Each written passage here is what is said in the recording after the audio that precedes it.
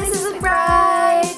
We heard about your surgery, so we decided to make a quick video of just six things that you could do after your surgery and after your, your recovery. We know that you're already a very strong woman, but we hope this helps you and encourages you, encourages you to stay strong recover fast and quickly mm-hmm. because we all know, let's be let's be honest, that my mom would die without you yes. for a month, not being at work.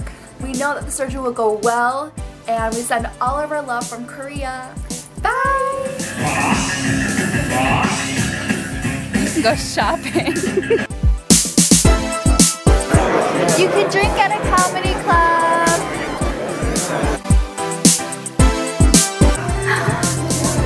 can buy a puppy.